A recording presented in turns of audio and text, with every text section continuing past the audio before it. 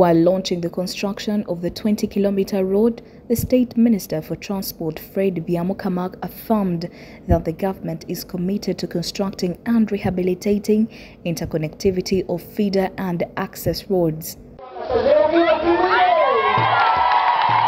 This will cost the government 15 billion shillings. Actually, in the whole of Nyoro sub-region, over 15 billions are going to be invested on interconnectivity roads. We shall start with the Greater Kibaale and later we shall go to other places.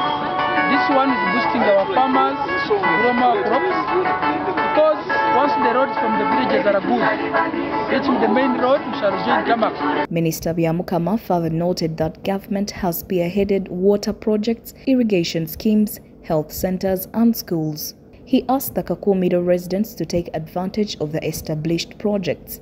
The construction of the roads is contracted by GIK Construction and Engineering Company. We have a number of water projects which are going on across the Nyoro sub-region. Uh, we have a number of irrigation schemes which are going on. And also we have a number of schools which have been constructed. It is our effort as leaders to inform the community what's the purpose of these government projects. William Kabiho, the commissioner in the Ministry of Works and Transport, clarified that the construction of the interconnectivity of roads have no compensation.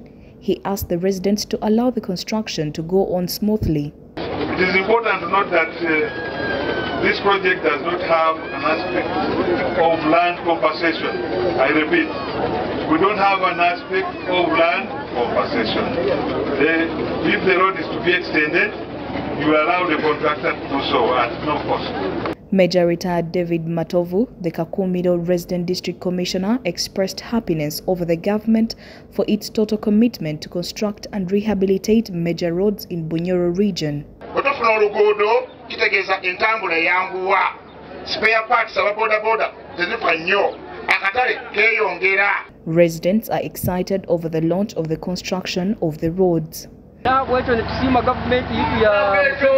We are happy that our roads are going to be worked on. We couldn't access health centers, markets during the rainy season. We thank the government for remembering us. Report compiled by Andrew Masinguzi for the news.